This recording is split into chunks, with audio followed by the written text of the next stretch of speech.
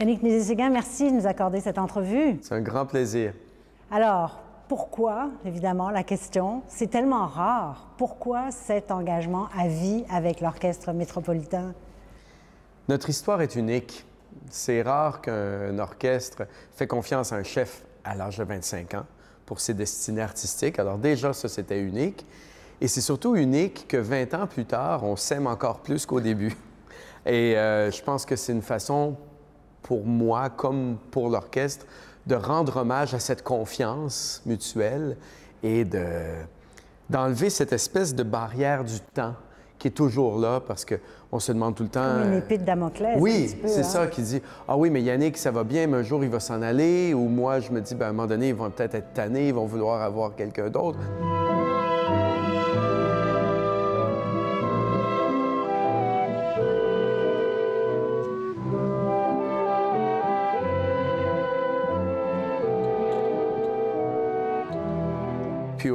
Au, lieu, ben, on se dit non, on, on, on s'aime, on fait de la grande musique ensemble, nos projets sont beaux, alors on se donne encore plus de liberté pour l'avenir en, se- en unissant nos destinées comme ça. Qu'est-ce que ça change, au fond, sur le plan musical, pour l'orchestre, sur le plan artistique? Ça peut changer artistiquement parce que tout le monde sait à quoi s'en tenir. Et il n'y a plus une question de Ah, si je fais ceci, peut-être que Yannick il nous aimera plus bientôt. Moi, j'avais des musiciens qui me disaient ça depuis quelques années.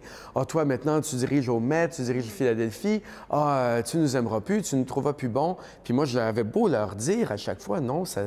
C'est pas comme ça que ça se passe. Je vous trouve merveilleux. Et puis, je, je vois, de plus je, plus je voyage, plus je comprends l'unicité aussi du son de l'Orchestre métropolitain. Donc, c'est une façon vraiment de se donner cette liberté, c'est-à-dire de, de grandir ensemble, en- ensemble encore plus. Et vous parlez d'unicité, parce que c'est vrai, vous êtes maintenant au, euh, au Met, vous êtes à Philadelphie, vous, vous êtes une superstar.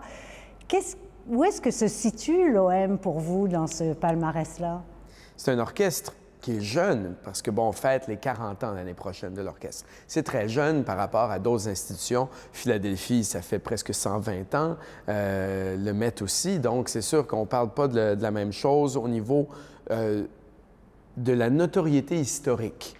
Mais au niveau du son, ce que ça donne, c'est un orchestre qui a été déjà fondé dès les années 80 avec cette chose visionnaire qui était d'incorporer la, euh, l'éducation, le fait d'aller vers les gens, le fait d'avoir des valeurs de proximité, d'accessibilité, tout en gardant le, cap sur l'excellence en musique. Alors ça, c'était révolutionnaire dans les années 80 parce que, en général, les orchestres voulaient se tenir loin de ça. L'éducation, c'était pour d'autres, et quand on jouait dans un orchestre, il fallait qu'on soit déjà... euh, les gens qui viennent nous entendre, ils devaient tout connaître. Alors que nous, c'était... averti. Oui, voilà. Mais aujourd'hui, tout le monde parle de cette, euh, cette démocratisation. Mais l'Orchestre métropolitain a finalement une long- beaucoup de longueur d'avance parce que c'était dans sa mission. Et je pense que ça, ça teinte le son et l'attitude musicale des musiciens. Les musiciens se donnent à 200 qu'on joue dans un sous-sol, euh, dans un arrondissement de Montréal, qu'on joue dans une église, qu'on joue dans une acoustique très sèche ou qu'on joue en Europe ou au Carnegie Hall, comme ce sera le cas bientôt en novembre, ou qu'on joue à notre belle maison symphonique. Et donc, cette décision, elle a été prise en Europe, en fait, après votre grande tournée européenne.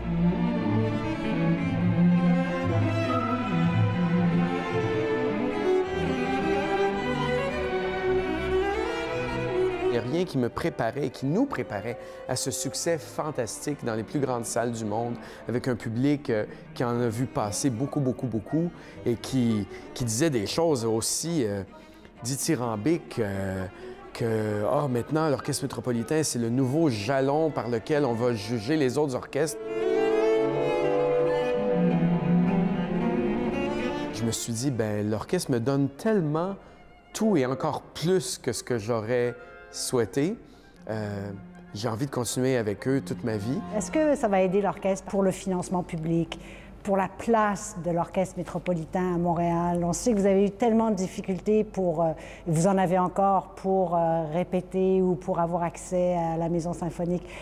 Qu'est-ce que ça change à ce niveau-là? Ou est-ce que ça change quelque chose? C'est une décision qui a des euh, répercussions stratégiques.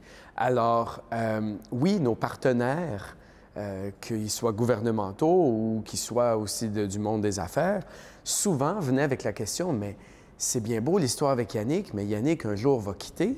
Et il y avait cette incertitude qui entravait parfois certaines personnes qui avaient envie d'investir euh, plus de ressources dans l'orchestre métropolitain. Alors c'est sûr que ça va changer. Euh, ça va donner aussi, euh, je pense, de, euh, juste une plus grande reconnaissance lorsqu'on est à la table et qu'on peut parler de comment on peut partager le temps à la maison symphonique. Hmm. C'est notre souhait. Euh, il y a des discussions là-dessus. Vous avez déjà dit, on se sent un peu comme des touristes. C'est quand même incroyable. Oui, c'est quand même incroyable. En fait, ce qu'il faut comprendre, c'est que avec le niveau qu'on a atteint, c'est un peu comme un athlète olympique. S'ils n'ont pas les ressources ou les endroits pour euh, euh, s'entraîner, c'est sûr qu'ils ne vont pas gagner aux Olympiques. Ça, c'est quelque chose qu'on comprend. Donc, répéter dans des conditions acoustiques acceptables, c'est intimement lié au résultat musical qu'on veut obtenir.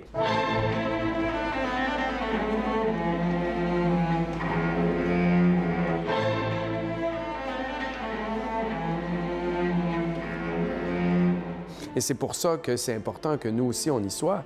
Mais ce que je trouve beau dans ce message, c'est que euh, on ressent beaucoup d'amour des Montréalais et ce que je trouve unique de Montréal, plus je voyage à l'extérieur, à l'étranger, c'est que c'est pas une ville comme les autres culturellement. On le dit depuis des années, mais c'est une ville qui a une richesse culturelle, une variété de l'offre, une richesse de l'offre culturelle. Des festivals. Tellement de festivals.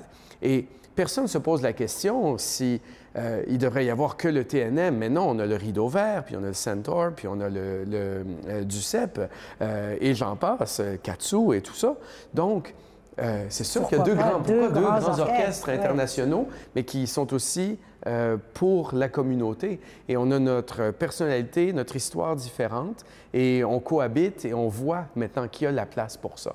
Et c'est ce qui me rend très fier dans Vous en voulez un peu plus, dites-le. Ben, c'est-à-dire, on veut, on veut juste notre juste place. Est-ce que ça veut dire que ça met fin complètement à la possibilité que vous fassiez le saut à l'orchestre symphonique, parce qu'il y a beaucoup de gens qui se sont dit, quand Kent Nagano annonçait qu'il partait, que peut-être que ça serait euh, pour vous, en fait. Ben, en fait, euh, ma famille, c'est l'Orchestre métropolitain. On a une histoire qui est assez unique euh, dans le monde et qui a fait en sorte qu'on s'est trouvé et on s'est gardé.